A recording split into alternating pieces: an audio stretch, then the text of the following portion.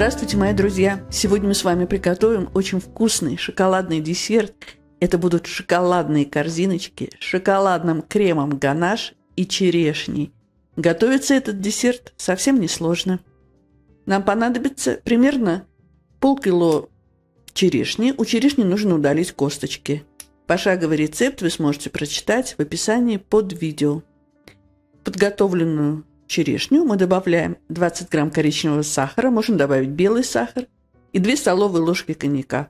Коньяк можно пропустить, если вы не употребляете алкоголь. Все размешать, пусть черешня пустит сок и пропитается коньяком и сахаром. В чашу блендера мы добавляем 200 грамм муки, 5 грамм разрыхлителя, 50 грамм сахара и нарезанного на кубики 100 грамм сливочного масла, столовую ложку какао. Все нам нужно превратить в крошку. Если у вас нет блендера, вы можете смешать сухие компоненты и натереть туда на терке охлажденное сливочное масло, руками все перетереть в крошку. В полученную крошку мы добавляем яйцо. Нам нужно замесить тесто. Тесто должно собраться в ком. Если тесто не собирается в ком, надо добавить одну столовую ложку ледяной воды. И наоборот. Если тесто получилось жидковатым, добавить столовую ложку муки. Посмотрите, какое тесто у нас получается. Оно достаточно плотное, не липнет к рукам. Тесто нам нужно разделить на ровные 12 частей. Это можно сделать при помощи весов или вот так вот, как я, нарезать на квадратики. Каждый квадратик мы скатываем в шарик. Каждый шарик – это корзиночка. У меня форма для кексов на 12 штук кексов. Каждое углубление нам нужно смазать растительным маслом, чтобы потом испеченные корзиночки легко доставались из формочек.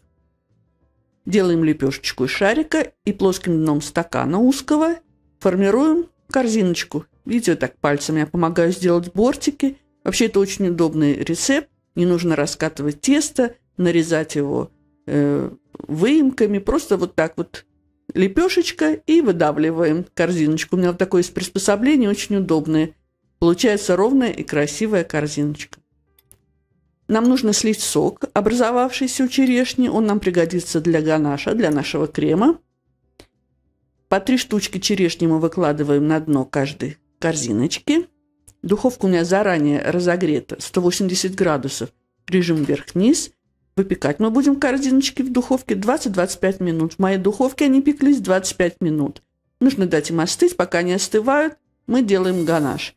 К соку от черешни мы добавляем 200 грамм черного шоколада, у меня 60-процентный, и добавляем 180 миллилитров жирных сливок, 38% жирности. Прогреваем сливки или в ковшике на огне, или э, в микроволновке, все размешиваем, чтобы шоколад растаял, и у нас э, получается такая однородная, достаточно густая эмульсия.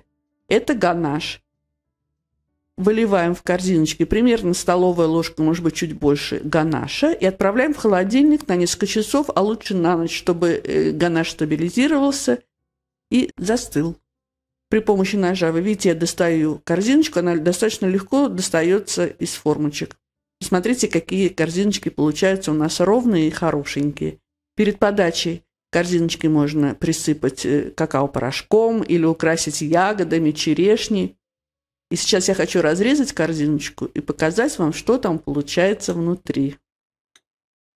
А внутри у нас получается, посмотрите, какая красота. Черешня – это просто вот как рубины, как драгоценные камни в шоколадной шкатулке. Ну что, пробуем? Друзья мои, если вы любите шоколад, этот рецепт для вас. Это просто рай для шокоголиков. Приготовьте.